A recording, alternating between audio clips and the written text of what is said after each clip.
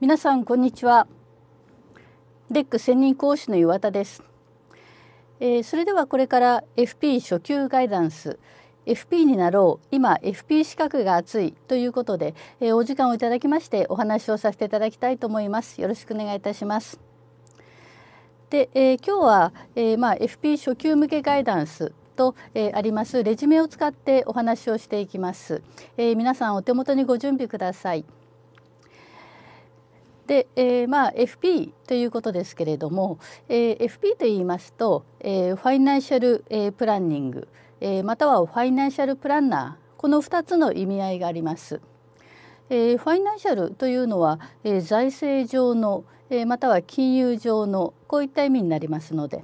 えー、ファイナンシャルプランニングと言いますと財政上の計画を立てる、えー、ファイナンシャルプランナーと言いますとその計画を立てる人という、えー、意味合いになります。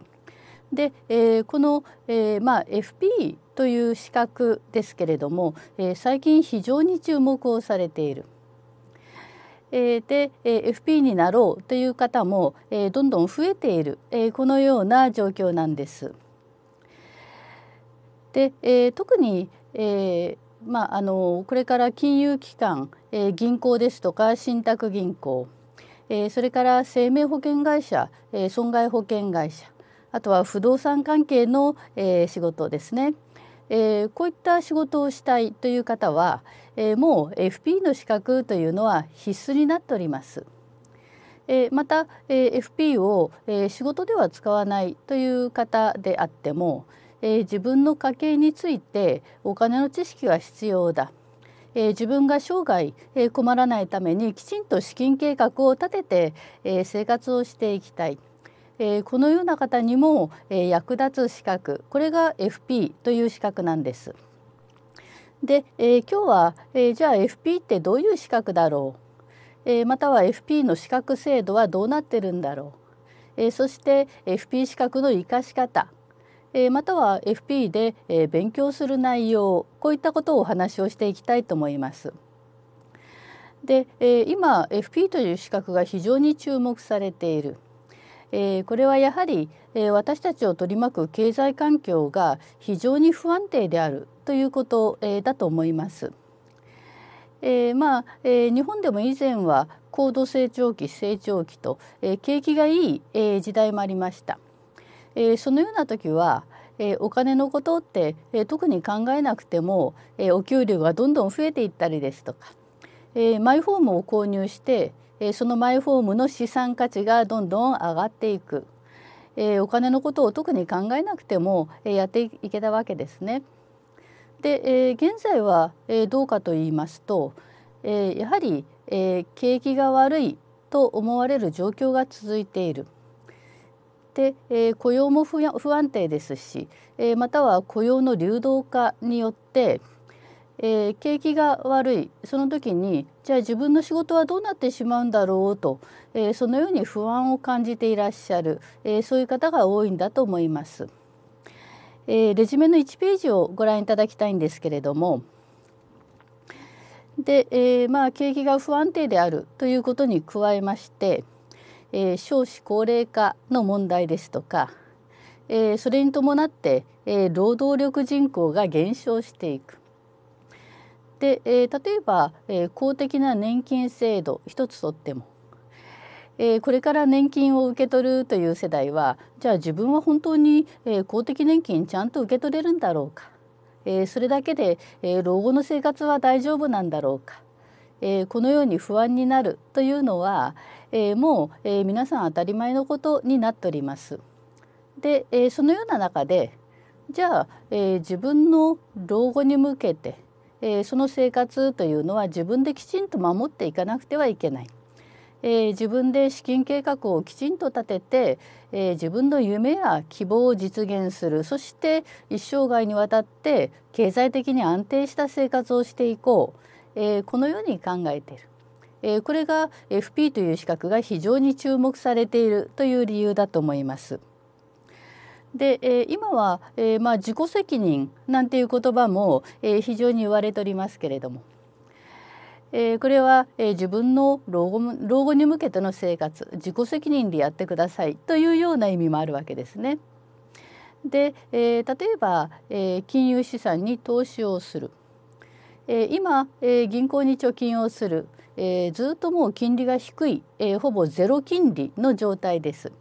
えー、ですから、えー、資産を形成していくというのはある程度、えー、株式ですとか投資信託に投資をしないといけない。えー、じゃあそういう金融商品ってどういう仕組みなんだろうまたリスクがありますので、えー、ただ投資をするだけではなくある程度の知識がないと逆に損損をしてしまう。えー、例えば、えー、貯蓄から投資へという言葉もよく言われておりますけれども、えー、NISA という制度それから iDeCo という制度さまざまな制度を、えー、導入されています。えー、そういった制度も仕組みをきちんと知らないと、えー、どういう商品に投資をしてどのようなリスクがあってどの程度のリターンがあるかこのようなさまざまな知識は必要になってくるわけです。えー、ですから現在は、えー、そういったお金の知識、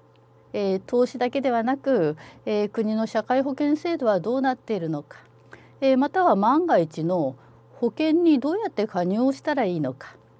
えー、こういう基本的なお金の知識というのは、えー、もう誰もが知らないと、えー、本当に、えー、自分の生活を守ることができない、え、このような中で FP という資格が、え、非常に注目されているということだと思います。え、それではレジュメの2ページを開いていただけますでしょうか。はい、えー、それではこちらに移していきますけれども、えー、2ページの下の方、えー、一番下のライフプラント FP、えー、ここを見ていきましょう。えー、FP って、えー、どういう仕事をするんだろうということになりますけれども、えー、FP というのはライフプラン、えー、個人のライフプランに対してアドバイスをしていく。えー、ライフプランというのは、えー、まあ日本語では生涯生活設計えー、このようにちょっと固めの日本語で訳すことが多いです。えー、つまり、えー、まあ、生涯にわたって自分の、えー、経済的な生活をきちんと設計して、え計画を立てていく。えまあ、自分が将来こういう仕事をしたいですとかこのように生活をしたい、えそういう夢や希望というのは、え誰にでもあるわけです。えー、その夢や希望それを実現する、えー、そして自分の生活を、えー、きちんと守りながら、えー、それを計画を立てていく、えー、それがライフプラン生涯生活設計と言われるものです。えー、ですから FP という、えー、まあ仕事というのは、えー、まあ人が、えー、一生涯、えー、まあ経済的に困らないようにえまたは、えまあ、幸せに生活ができるように、えそれのアドバイスをさせていただく、えこのような資格なんです。で、えまあ、人が幸せである。え何が必要かと言いますと、えまず生きがいというのは必要ですよね。えそれから健康であることが望ましい。えー、そして、えー、お金とありますけれども、えー、経済的なものが、えー、整わないと、えー、現代では幸せな生活というのは言えないと思います。えー、ところが生きがいにしましても何が生きがいというのはその方によって異なります。えー、例えば、えー、親しい人がいるですとか、えー、ライフワークがある、えー、または仕事が生きがいという方もいらっしゃると思います。えー、お金にしても、えー、まあお金が欲しいとは思います、えー、またはお金がないと生活ができないえー、ただ、えー、どの程度お金があれば幸せなのかというのはその方によって違ってくるわけです。えー、つまり、えその方その方によって価値観がある、えその価値観それがライフデザインですね。えその価値観を生かしながら、えライフプラン、え将来にわたって計画を立てていく。で、えー、この、えー、まあ、ライフデザイン価値観、えー、その中でもお金、えー、経済的な側面に対して、えー、ファイナンシャルプランニングをしていく、えー、これが FP という仕事です。で、えー、一方、えー、人の、えーまあ、人生の中では、えー、誕生してそれから成長していく、えー、そして自立、えー、まああの就職をして社会に出たりするわけですね。えー、そして、えー、まあ成熟とありますけれども、えー、まあ結婚したり子供ができたり。じゃあその時に、えー、子供の教育費はどうなんだろう。えー、家族が、えー、ちゃんと生活をしていくためにはどのようなお金がどのくらい必要なんだろうということを考えていく、えー、そして老後を迎える、えじゃあ老後の資産どのくらいのお金が必要なんだろう、えそして相続とありますけれども、え人は誰でも、えいつかは、え亡くなりますので、え自分の財産を次の世代に引き継いでいく。えー、このように、えー、まあ人の一生の中ではそれぞれに節目があり、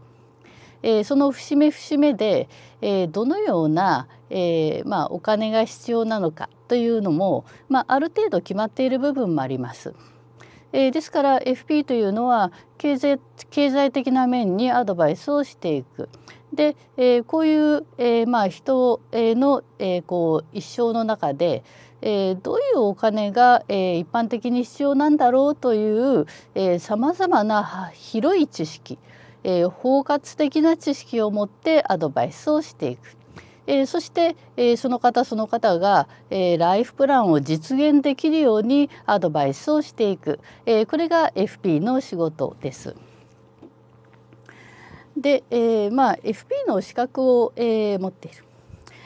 で、えー、その資格を仕事に生かしていく。で、えー、現在は FP のニーズというのは非常に高まっています。えー、これは、えーまあ、生活者の方、えー、それが FP に、えーまあ、あの相談をしに行く、えー、その相談業務を行う、えー、こういったことも増えております。また、えー、金融機関ですとか保険会社、えー、そして不動産関係の企業などでは FP の資格を持って、えー、幅広く顧客に対してさまざまな、えー、アドバイスをする、えー、また、えー、その中ではえー、まあ自社製品商品を、えー、顧客にお勧めするということもあると思います。えー、例えば、えー、保険商品をお勧めする、えその時に、えただ、えまあ、自社の保険を、え販売するということだけではなく、え顧客のライフプラン全般的にわたって、えー、いろいろ、え考えながら包括的にじゃあこの顧客には、えどのような保険がぴったり合ってるんだろうと、え、そういった、え、幅広い知識を持っておすめをする、え、ことによってより、え、顧客の方に満足をしていただける。えー、そのように FP 資格というのは、えー、まあ、えー、幅広い知識、えー、それで顧客に対してアドバイスをするさまざまな側面で非常に役に立つ、えー、資格ということができます。はい、えー、それではレジュメの3ページを開いていただけますでしょうか。えー、FP の資格制度について見ていきたいと思います。で、えー、まあ、一番上の FP 資格の種類、えーとえー、表になっておりますけれども、えー、今 FP の資格というのは民間の資格、えー、それと国家資格、えー、この2本立てになっているんですね。えー、まず、えー、表の一番上左側から CFP、AFP 資格、えー、この2つは、えー、民間の資格になっております。で、えー、NPO 法人日本 FP 協会、えー、が行っている資格です。で、えー、右側の、えー、1級 FP 技能士そして2級3級 FP 技能士、えー、こちらは国家資格としての FP 技能士となっております。で、えーまあ、民間の方は、えー、資格が始まってもう30年以上で、えー、国家資格の FP 技能士、えー、2002年から、えー、導入されております。えー、これは、えー、ですから国が FP という資格が重要である必要であるということを認めたということだと思いますけれども、えー、ですから、えー、今まあ20年弱ですね資格が始まってから。で、えー、国家資格の方は、えー、まあ、厚生労働省管轄の資格で、えー、ただ、えーまあ、民間が、えーまあ、あの試験実施団体、えー、が2つありまして日本 FP 協会、えー、そして金融財政事情研究会、えー、この2つの団体が試験は実施しております。えー、ですから、えー、日本 FP 協会というのは民間の AFP、CFP 資格も行っておりますし、えー、国家資格の FP 技能検定も行っているというような形になっております。じゃあこの、えー、民間の資格、えー、それと国家資格のこの関係はどうなってるかということですけれども、えー、まず民間の方、えー、この AFP 資格、えー、こちらが FP の普通資格です。で、えー、まあ AFP 資格ですけれども、えー、受験要件のところで、えー、認定研修の終了とあります。えー、この認定研修というのは、えー、これはレックの FP 講座です、えー、日本 FP 協会が指定する認定研修、えー、これの終了が必要である。これは必ず覚えてください。で、えー、AFP 資格を取得すると、えー、CFP、え、を受験することができる。で、えー、CFP はですから民間の資格の最高峰の資格。で、えー、CFP 資格というのは、えー、実は国際ライセンスなんですね。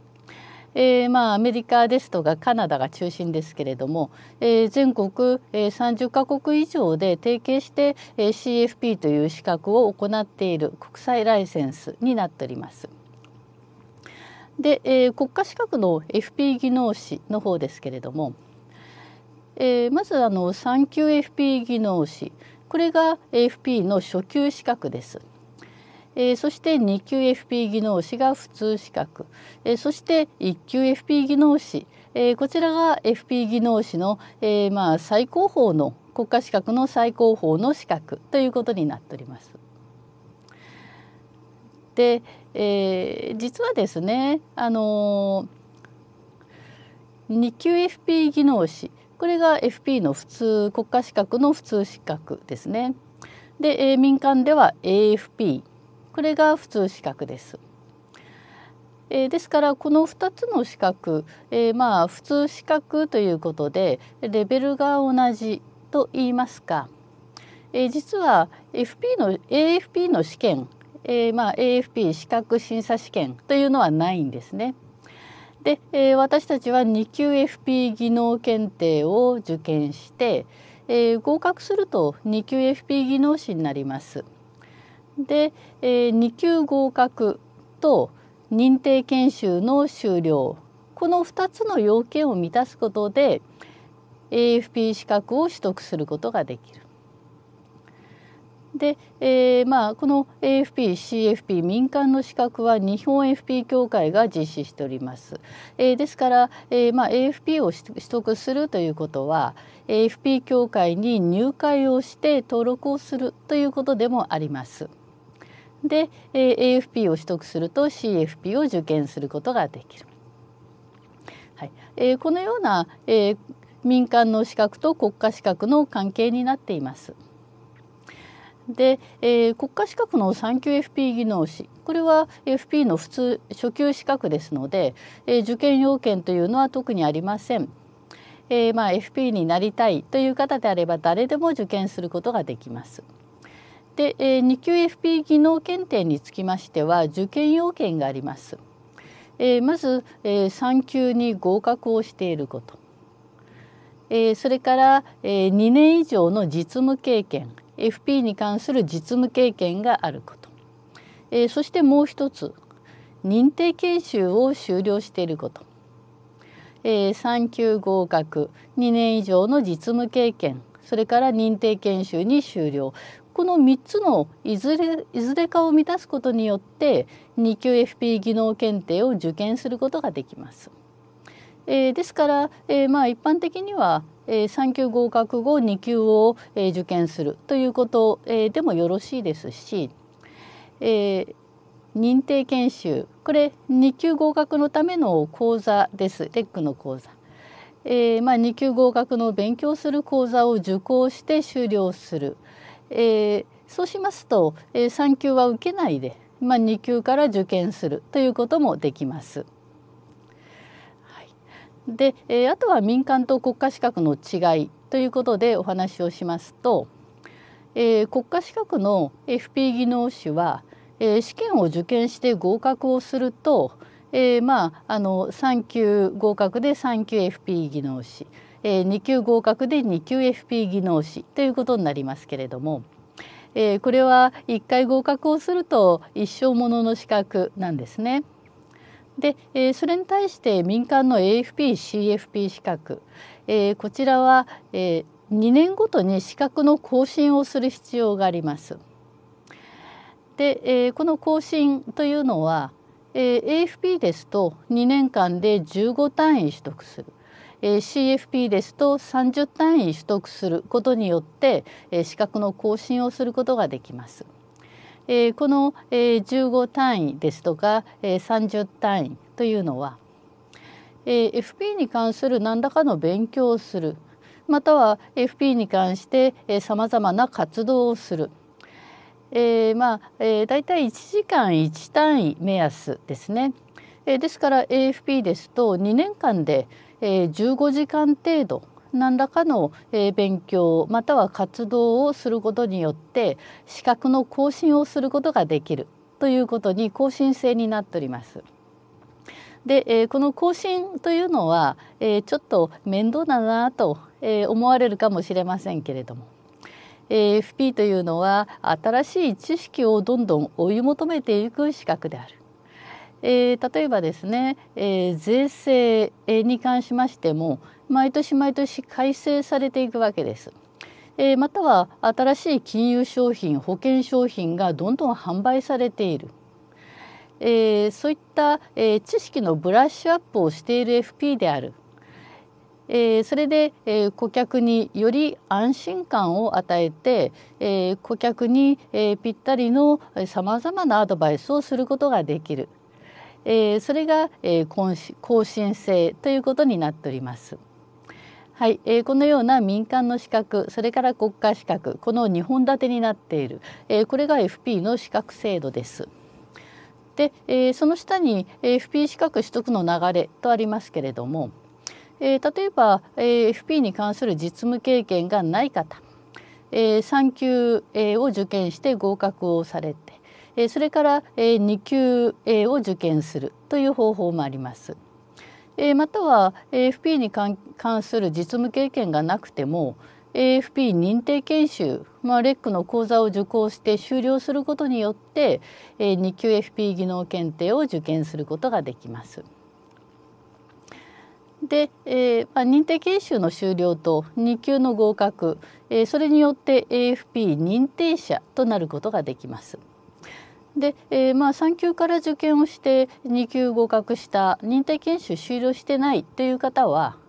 えー、2級 FP 合格後認定研修を、えー、受講して終了すればそこで2つの要件が揃うわけですので、えー、まあ後後から認定研修を、えー、終了していただいても AFP、えー、となることができます。で、えーまあ、AFP 認定者となると、えー、CFP を受験することができる。えー、または3級2級1級と言ってもいいんですけれども。えー、CFP の合格をすると1級の学科試験が免除になって1級の実技試験を受験するだけで1級に AFP 技能士になることができる、えー、このような制度もあります。で、えー、まあ CFP それから1級、えー、民間と国家資格の最高峰の資格ですので、えー、それで、えーまあ、いわゆるダブルライセンスということにもなるわけですね。はい、で、えー、まあ3級それから2級1級の、えー、まあレベルですけれども、えー、3級 FP 技能士というのは、えー、まあ初級レベルです。えー、ですから、えー、まあ3級でもお金に関する幅広いことはさまざま勉強するんですね。ただそれは、えー、日常生活に役立つそのくらいの水準と考えてください。えー、中級レベルの2級 FP 技能士 AFP になることによって、えー、まあ仕事で FP を使うことができる。えー、または親しい、え、方にさまざまなお金に関するアドバイスをすることができる。えー、これが、えー、中級レベルの2級 FP 技能士または AFP です。えー、ですから仕事で FP 資格を使うという方は是非この中級レベルまで目指していただきたいと思います。で、え、CFP1 級 FP 技能士これは上級レベルです。えー、ですから、えー、まあ仕事で FP 資格を使う、えー、さらにその仕事、えー、もうバリバリ、えー、もう FP として活躍をしたいんだ。えー、また企業にお勤めであってもその企業によっては、えー、上級の1級、えー、または CFP 資格を取得することによって、えー、社内で、えーまあ、あの出世をすることができる、えー、そのように内規内規で決まっているそのような企業もあります。えー、上級レベルの CFP 一級 FP 技能士は、えー、まさに、えー、職業人としての FP 資格そのレベルになっております。はい、えー、このような、え、FP の資格制度、えー、または、え、資格の級ごとのレベルとなっております。えー、それではレ,、えー、レジュメの4ページを開いていただけますでしょうか。えー、FP になるには、えーまあ、FP という資格、えー、何を勉強するのかということですけれども、えー、一言で言いますとお金に関するすべて、えー、を勉強する、えー、これが FP の資格なんですね。えー、ただお金に関するすべてって非常に幅広い、えー、です。えー、ですから、えー、講座では、えー、6つの分野科目に分けて、えー、学習をしていくことになります。えー、金融資産運用不動産ライフプランニングと資金計画、えー、そしてリスク管理タックスプランニング相続事業承継、えー、この6科目です。で、えー、この中で、えー、右上のライフプランニングと資金計画、えー、これが一番 FP らしい科目と言えると思います。えー、このライフプランニングと資金計画の科目ではライフプランニングの手法についてまず学習します。えーまあ、FP というのは、えー、顧客に対してさまざまなアドバイスをする、えー、その時に、えー、顧客の、えー、例えば収入ですとか年間の支出、えー、貯金はどのくらいあるんだろう、えー、そういったデータを集めてそれを分析をしてアドバイスをしていく。で、えーまあ、将来の予想ということも含めましてえー、例えば今マイホームを購入したい。そういうご希望があったとして、えー、住宅ローンを組んで今買えるかもしれないけれども、えー、将来の、えー、その家計のお金の流れそれを見ていくと、えー、住宅ローンの返済をして、えー、あとはお子さんがいれば子どもの教育費というのもかかるわけですね。えー、そういった支出を考えてみると家計がどう考えても赤字になってしまう。20年後30年後、え貯蓄がマイナスになってしまう。ということであれば、えー、じゃあ現在のマイホームの購入計画、えー、それはちょっと修正をしなくてはいけない。えー、そのように将来の、え、予想も含めまして、え、家計を分析をしていく。そしてアドバイスをする、え、そのような手法を勉強します。え、それからこのライフの科目では、えー、社会保険制度ですね、えー、健康保険ですとか雇用保険。それから公的な年金制度。公的な介護保険、えー、こういった社会保険制度についても学習していきます。えー、例えば健康保険一つ、えー、とっても、えーまあ、自分で保険料を支払ってで健康保険に加入をしている。えー、病院に行く時に、えー、保険証を提示することによって3割の自己負担で治療を受けることができる。えー、健康保険って、えー、これだけではなくさまざまな実は給付があるんですね。えー、ただ国の制度というのは自分から申請をしないと受け取ることができないということも多いです。えー、こういった社会社会保険制度でどういう給付があるのかということも勉強しますし、えー、それから公的な年金制度にしましてもえー、自分が老後何歳から公的な老齢給付を受け取ることができるんだろう、えー、それを知っておくことで、えー、きちんと、えーまあ、将来に向けてのライフプランを考えることができる。えー、ライフの科目では、えー、こういった社会保険制度についても学習していきます。で、えー、そうやって、えーまあ、自分のライフプランを立てていく。えー、ところがライフプラン通りに進まない万が一のことというのもあるわけですね。で、えー、リスク管理の科目では万が一に備える、えー、つまり生命保険ですとか損害保険、えー、それから医療保険などの、えー、保険制度について学習をしていきます。えーまあ、2級まで学習をしていただければ、えー、自分はどういう保険に加入すればいいんだろう、えー、自分にぴったりの保険は、えー、どういう保険なんだろうということが分かるようになる、え、または、え、保険に関してさまざまな、え、アドバイスをすることができるということになります。で、え、金融資産運用の科目、え、これはまあ金融ですので、え、まさに資産運用に関する内容。さまざまな金融商品、え、その仕組み、え、またリターンとリスクについても学習をしていきます。で、え、金融商品を選択するというのは、え、やはり損をしない、え、ある程度収益が上がるというのが望ましい。え、自分のライフプランにぴったり合った金融商品を選択するというのは、え、まあ当然ですけれども、え、その時その時の経済環境によってどういった金融商品を選んだらいいんだろうというのは変わってくるわけです。えー、ですからこの金融の科目では、えー、経済景気を見ていくさまざまな指標などについても学習をしていきます。えー、ですから FP の勉強をすると、えー、経済史が分かるようになったまた経済関係のニュース、えー、で、えー、まああのいろいろ知っている言葉が出てきて理解をすることができるようになった、えー、こういう方も非常に多くいらっしゃるわけです。えー、そして、えー、タックスプランニング、えー、これはタックス、えー、つまり税金に関する内容です。えー、まああの個人であれば収入があれば所得税それから住民税、えー、これは払わないといけない、えー、負担する必要があるわけですね。えー、じゃあそういった、えー、所得税や住民税などどうやってけあの計算をしていくんだろうということは、えー、会社にお勤めの方は会社の年末調整で、えー、つまり会社で計算をしてくれる、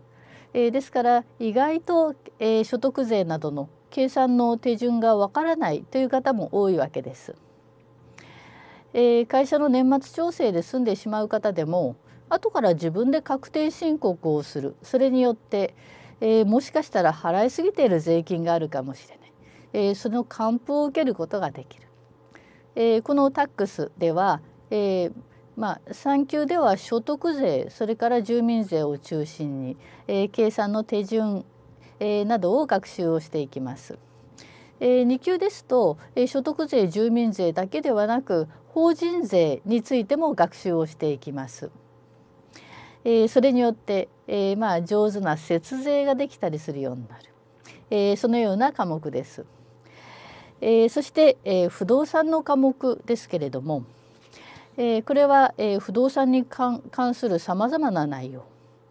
えー、例えば、えー、不動産登記の考え方、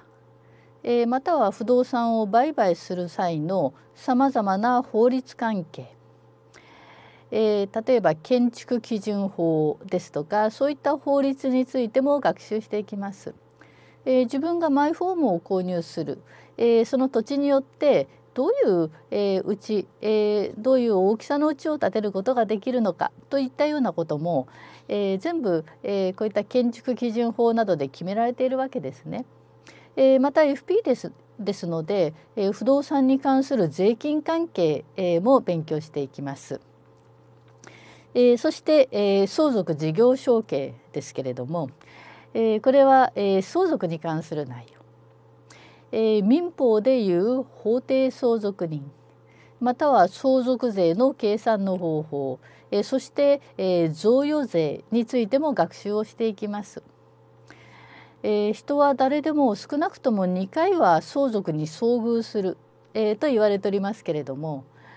えー、まあそんなにしょっちゅうあることではありません。ですから相続税の計算ってどうするんだろうと、えー、意外と知識が、えー、あまりないという方も多いんじゃないでしょうか。えー、相続税対策というのは、えー、その方が亡くなってからではもうほとんどできることというのはありません。えー、あらかじめさまざまな、えー、対策を立てておくことによって、え、相続の時に、えー、親族間で、え、争いにならないようにまた、え、相続税を、え、軽減できるように、え、そういう知識についても学習していきます。え、また、え、自分が、え、人生の終盤を与えるにあたって、えまあ、相続人が困らないようにきちんと相続について考えていこう、え、そのような科目でもあります。えー、FP では、えー、このような幅広いお金の知識、えー、それを6科目に分けて学習をしていきます。で、えーまあ、FP で勉強する内容が他の資格と全く違うというのはえー、FP で勉強する内容はすぐにもう日常生活に役立てることができる、えー、そういう知識を勉強するこれが FP なんですね。えー、ですから皆さんも、えー、まあ講座で、えー、もう、えー、もう順番に科目を学習していくことによって、えー、もうすぐに、えー、それを生活に役立てられる、えー、そういうことを勉強することができます。えー、また、えー、生活上で勉強した内容をどんどんどんどん使っていくことによって、えー、より知識がさらに深まって、えー、それが、えー、試験対策にもなる、えー、このような、えー、勉強をしていきます。はい、えー、それではレジュメの5ページを開いていただけますでしょうか。えー、FP 試験の傾向,、えー、傾向と対策について見ていきたいと思います。でえー、ここでは2級試験の概要とありますけれども、はいえー、それではちょっと移していきたいと思います。えー、2級、えー、試験それから3級試験もですけれども、えー、試験は、えー、学科試験と実技試験この2つがあります。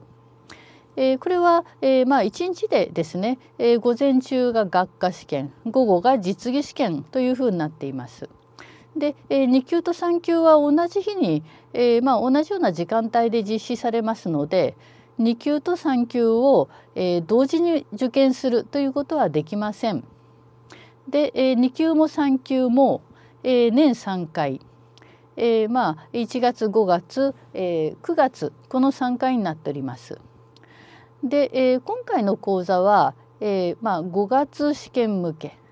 えー、2021年えー、5月受験の、まあ、2級の5月受験向け、の講座になっております。または、えー、3級試験1月に受験して2級は5月に受験するということでもよろしいと思います。で、えーまあ、学科試験、えー、2級試験は4種択一マークシートです。えー、3級は、えー、まあ丸×ですとか3四択一、えー、まあマークシート、えーまあ、いずれも学科試験はマークシートになっております。で、えー、2級の実技試験に関しましては、えー、まあ4四択一の問題もありますけれども、えー、記述式になっております。で、えー、この記述式って何かと言いますと、えー、例えば、えー、計算問題があってその計算をして答えを書くまたは4子択一の、えー、1番が正解とか2番が正解とか、えー、その正解の選択肢を書く、えー、このような記述式です。えー、ですから論述式ではありませんので、えー、まあそれほど実技試験といっても、えー、恐れる必要はないと思います。で、えー、学科試験も実技試験も6割の正解で合格となっております。えー、ですから2級試験も3級試験も、えー、競争試験ではないです。えー、6割正解することによって、えー、合格、えー、このような試験になっております。で、えー、この真ん中に2級、えー、試験の合格率の推移、えー、これが折れ線グラフでありますけれども。えー、まあ、学科試験、えー、実技試験これ分けて書いてありますけれども、えー、学科と実技を両方受けて両方合格する方、えー、だいたい30%台くらいの合格率となっております。えー、ただ6割の正解で合格ですのでその時によって合格率は、えー、だいぶあの違う時があるんですね。えー、まあそれほど難しい問題が出題されないという時は合格率、えー、まあ40%近く、えー、40%台前後になることもあります。えー、または試験が非常に難しい問題が1問2問出た。えー、その場合は合格率が下がって、えー、30%前後になることもあります。えー、ただ、えーまあ、FP の試験というのは、えー、基本的に落とす試験ではありません。えー、ですから、えー、ちょっとした言葉のあやで、えー、丸×ですとか、えー、重箱の隅をつつくような難問奇問というのは出題されないんですね。えー、ですから FP 試験はきちんと時間をとって、えー、学習をした方が、えー、受かる、えー、そういう試験です。えー、ですから皆さんも、えー、レックの講座をぜひ、えー、受講していただいて、えー、きちんと準備をして、えー、試験を、えー、受験する、えー、それによって、えー、必ずや、えー、合格、えー、していただけることと思います。で、えー、まああの実技試験なんですけれども、えー、学科試験と少し違うというのは実技ですので、えー、例えば源泉徴収票ですとか、えー、生命保険の保険商品、えー、こういったあの原票の読み取り問題が出題されるまたは計算問題が出題される。えー、または家族設定がされていて、えー、それに対してどういうアドバイスをしますか？えというような問題も出題されます。えただ、えまあ、3級2級であっても、え問題の出題のされ方というのは、えちょっと実技っぽいんですけれども、えよく見ると、え聞かれてる内容というのは、え学科試験で、え必要な知識、えそれがきちんと備わっていれば、えそれほど苦労なく、え正解することができるえー、そのような問題です。えー、ですから、えー、実技試験どうなんだろうと、えー、不安に思われる方が多いんですけれども、えー、学科試験の勉強をしっかりしておけば、えー、実技は、えー、合格することができる。えー、ですから、えー、それほど、えー、まああの、心配されなくても大丈夫です。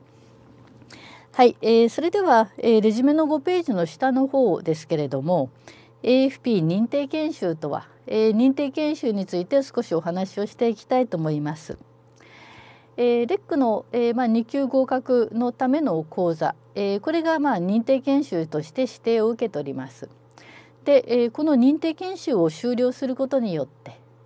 えー、2級の受験要件になりまたは2級合格後 AFP に登録をする際の要件にもなる、えー、それが認定研修です。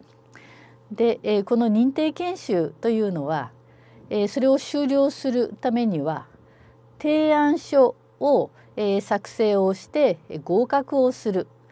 えー、それによって認定研修が終了になります。で提案書って何かと言いますと、えー、これは、えー、実務家の FP にとって本当にもう商売道具であるこれが提案書なんですね。顧客に対してさまざまなアドバイスをするえー、その時に口頭でさまざまアドバイスをするだけではなく、えー、提案書というレポートのように、えーまあ、形にしてお渡しをするという、えー、ことが多いです。えー、その提案書、えー、それを課題として作成をしていただく。